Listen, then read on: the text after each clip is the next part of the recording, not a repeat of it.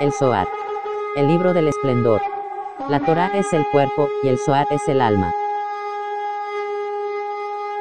Ballera 39.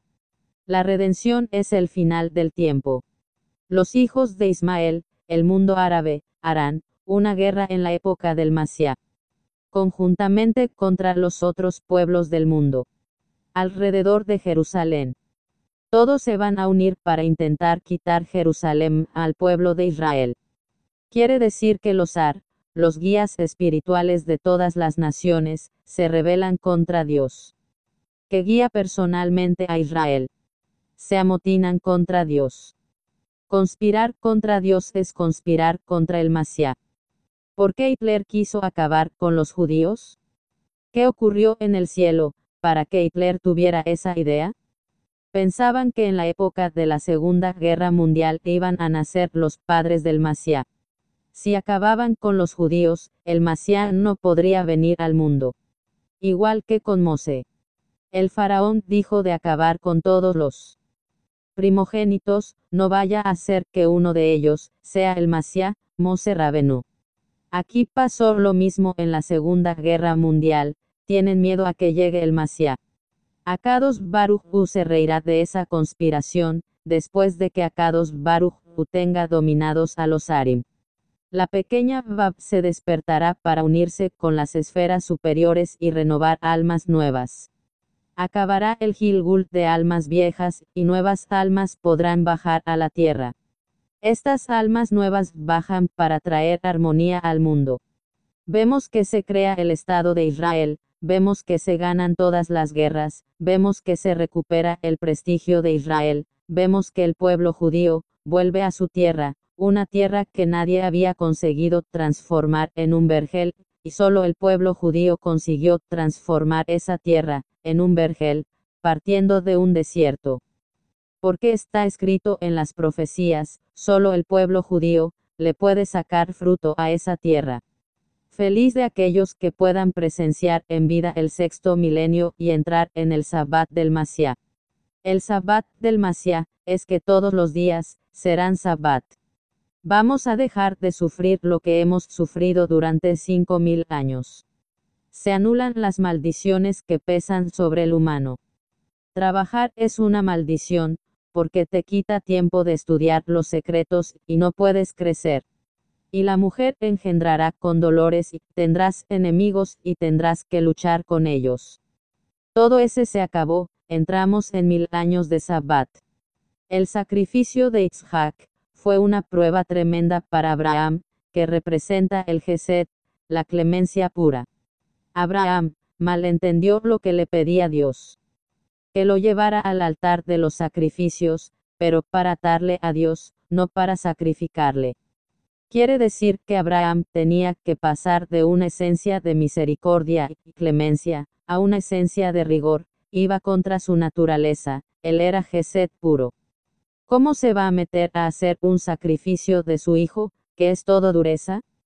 ¿Por qué le pide a Kados Baruch esto? ¿Por qué le vino el Satán, a Dios, y le dijo de todas las pruebas que le has mandado a Abraham, y las ha superado, las nueve pruebas, la décima no la va a superar?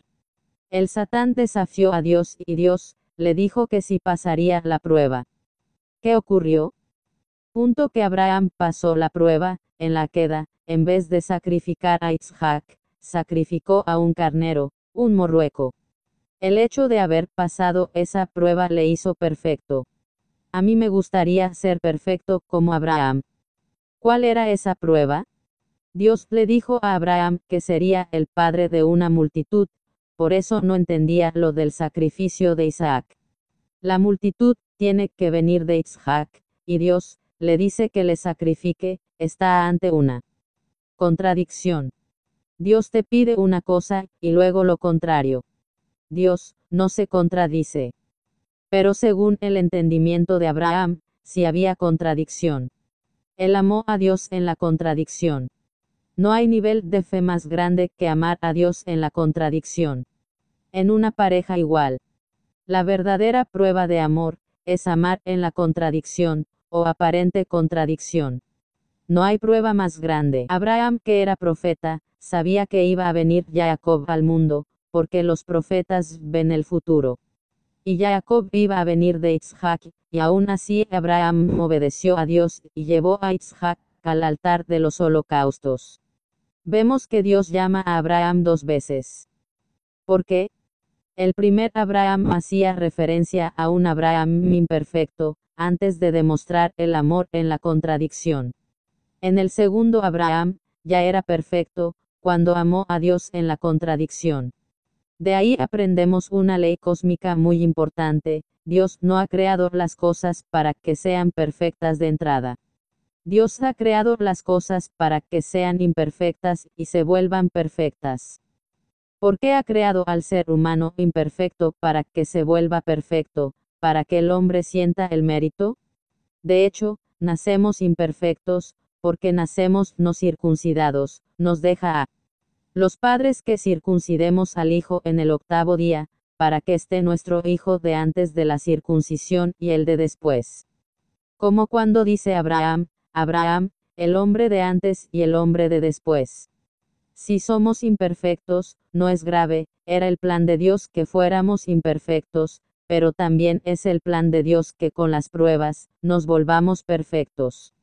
Uno que es imperfecto, y se vuelve perfecto, es un ser que llega muchísimo más alto que el que nace perfecto, y se queda perfecto, porque no ha tenido que darle la vuelta a las fuerzas del mal. Cuando Abraham fue perfecto y Dios, le llamó mi amigo. Cuando el Satán desafía a Dios, y Abraham le vence. Y Dios dice, ves, el hombre que yo he traído al mundo, este Abraham dijiste que no iba a pasar la prueba, y lo ha hecho, Luego mi criatura, está por encima de todos los desafíos que tú me puedas hacer, le dice al Satán, esa es la perfección. ¿Por qué existen las fuerzas del mal? Para ser vencidas. Mientras tanto, cuando Israel está en exilio y sufriendo, dice Dios que la Sejina está también con Israel, como la Sejina es esencia divina, quiere decir que cuando Israel sufre, Dios sufre igual. No hay un solo dolor que tenga el pueblo de Israel que no padezca a Kados Baruch por eso está escrito los gemidos de Israel llegarán hasta mi Dios, siente cada gemido de Israel, esto es cuando estaba en Egipto. Abraham es el símbolo del sureste. Isaac es el noroeste. Jacob es la unión entre ambos. Hablamos de los cuatro puntos cardinales, suroeste es Geset, clemencia pura, noroeste es Din, juicio, Jacob, es la perfección que sintetiza las dos fuerzas. Como protón, electrón y neutrón. Sin el neutrón tenemos una bomba atómica. Clemencia, rigor y neutro. Sin Jacob, Abraham e no mantendrían el mundo, pero con Jacob se mantiene. Aquí ya sabían la ley del átomo. En el profeta Isaías 43:8 Este pueblo, es verdaderamente mi pueblo, son hijos que no reniegan de su Padre, y Dios, fue su Salvador. Esto lo dice Dios, por boca de Isaías. Nos ha elegido como pueblo porque no renegamos de Él, ni en la contradicción. Más contradicción que los que vivieron. El holocausto, es imposible. Eso era para decir dónde está Dios, nos ha abandonado y sin embargo, se ponen los tefilín, van al muro, hacen las oraciones, et. Eso es amar a Dios en la contradicción. Bendito sea el nombre del Santo, bendito sea Él en toda la eternidad. Amén y amén. ¿Por qué siente Dios nuestro sufrimiento? Para que no nos sintamos separados y humillados. Las almas nuevas tienen acceso a los registros acásicos, no hay ningún pensamiento, ni emoción que se pierda en el universo, todo está grabado en un disco duro cósmico. En el árbol de las almas nuevas tienen acceso a esa memoria, pero no han vivido ellos, esas emociones. Recuerdan lo que han vivido las otras almas. Saben lo que han vivido y pensado todos los humanos de todas las generaciones del mundo, son almas especiales. Es una conciencia global. Job tenía una gran fortuna, diez hijos, y una mujer que quería mucho. Las fuerzas del mal, Le dijeron a Dios que como no le iba a querer con todo lo que tenía, si le quitas todo lo que tiene, a ver si te quiere igual.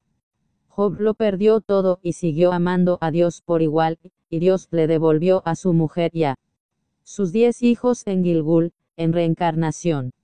Amar a Dios en la contradicción, es muy difícil, porque a veces parece que te ha abandonado, pero no te abandona, te hace creer que te ha abandonado, a ver qué haces, a ver si mereces que te dé un cheque en blanco. Para que Dios nos dé un cheque, en blanco hay que ser como Abraham Mavino. El cheque en blanco es la Torah.